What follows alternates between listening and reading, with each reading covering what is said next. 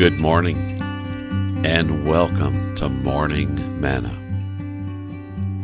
Today is Thursday, February the 13th, 2020, and this is episode 3222. My name is Bruce Turner. Welcome to today's Morning Manna. Great to be back in Lynchburg, Virginia today. Today's episode is titled Mission Possible. Stay tuned.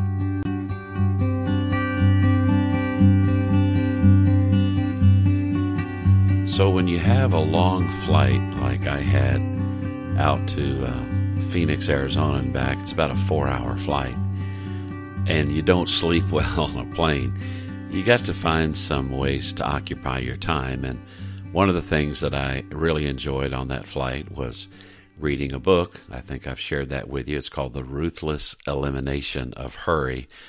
A really great book. I strongly encourage you to get that book and read it. The other thing you do, if you have a, a Kindle or a laptop, any other kind of a tablet or phone, is go to Amazon Prime if you have that and download some videos to watch. And so I watched uh, a couple movies there and a couple movies on the way back. And yesterday on the way back, I downloaded uh, one of the more recent Mission Impossible videos. Mission Impossible. Yeah, you gotta love that, right? I mean, think about it. Your mission, Jim, should you choose to accept it, dot, dot, dot. You know, as I was thinking about that, I thought about this passage of this passage of scripture this morning because I want to talk to you not about mission impossible, but mission possible.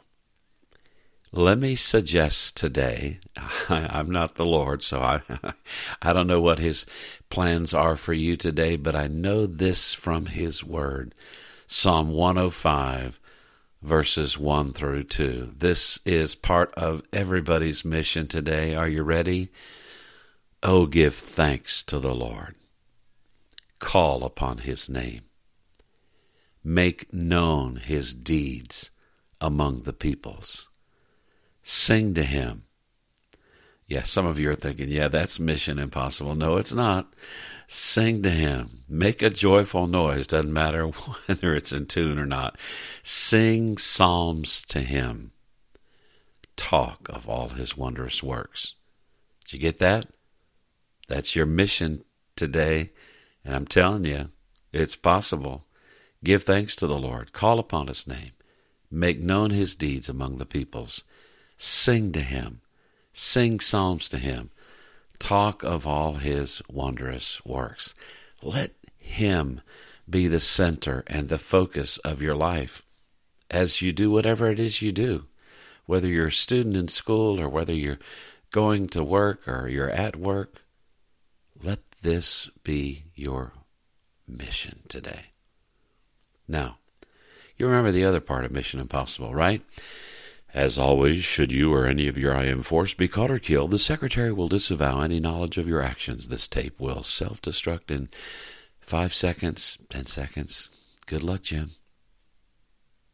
You know what I would say about this mission that I'm giving you today? As always, should any of you be caught or killed or suffer, God will never disavow.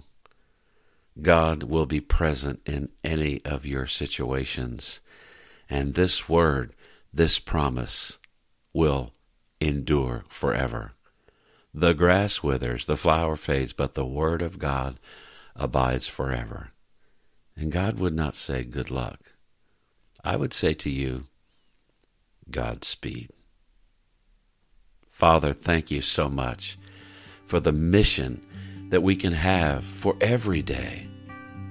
Lord, help us today to fulfill this mission today, to follow your word, to give thanks to you, to call upon your name when we're struggling and when we need help, to make your deeds known among the peoples, the people that we meet today. Lord, help us to share what a good God you are, to sing to you, to worship you, and to talk about your wondrous works, what you have done. In Jesus' name, amen.